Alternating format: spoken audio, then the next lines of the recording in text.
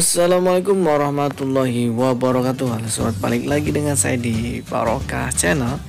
Nah kali ini saya akan berbagi cara untuk mengubah atau mengganti sandi saldo penjualan di Shopee. Nah kebetulan saya lupa. Nah saya akan menggantinya. Nah gimana caranya untuk mengganti sandi saldo tersebut Oke sebelum dilanjut alangkah baiknya sobat subscribe terlebih dahulu dan nyalakan loncengnya supaya tidak tertinggal video terbaru dari Barokah Channel. Oke sobat kita langsung buka saja aplikasi Shopee-nya lanjut ke toko saya. Oke lanjut ke bagian keuangan.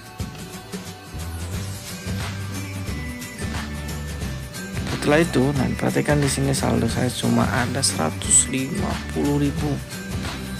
nah kita langsung pilih penarikan dana. Nah bebas sobat mau penarikan dana menggunakan Shopee Pay masuk ke Shopee Pay atau ke rekening bank. Kalau saya akan coba di rekening bank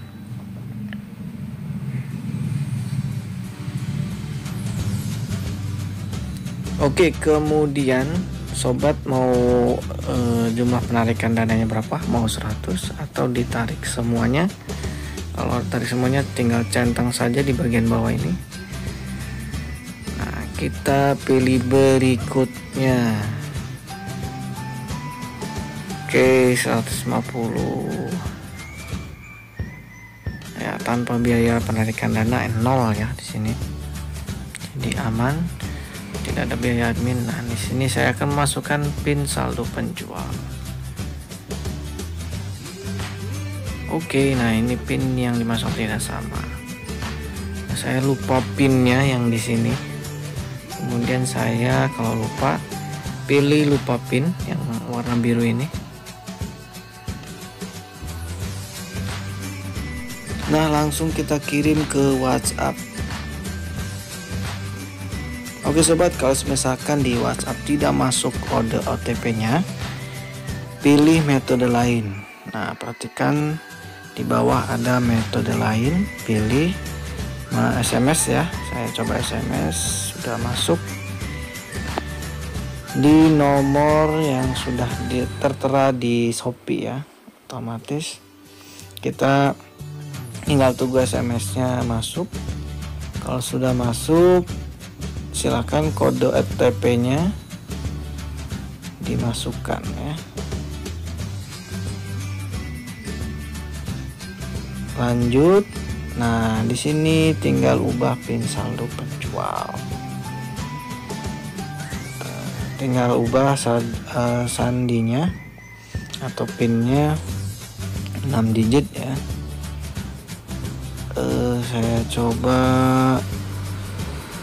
oh ya oke. Okay. ini tidak boleh beruntun seperti ini. Kita pilih digit yang lain. Oke okay, berhasil. Oke okay, setelah itu konfirmasi. Nah di sini sudah selesai. Sudah berhasil. Tinggal kita coba ya konfirmasi lagi. Kita masukkan pin yang sudah dibuat tadi yang baru. Oke okay, nah ini sudah berhasil. Tandanya pin yang baru tadi sudah uh, sudah berhasil. Nah ya, oke okay, sobat itulah cara mengganti saldo dan menarik uh, saldo penjualan di Shopee. Oke okay, jangan lupa subscribe like and share. Assalamualaikum warahmatullahi wabarakatuh